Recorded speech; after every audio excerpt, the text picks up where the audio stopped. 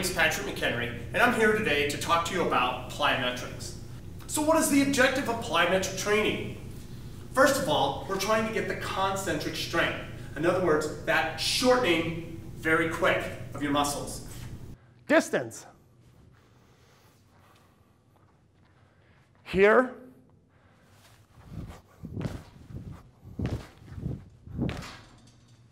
Going for that longer distance. Training exercise that develop maximal power, enhance eccentric strength.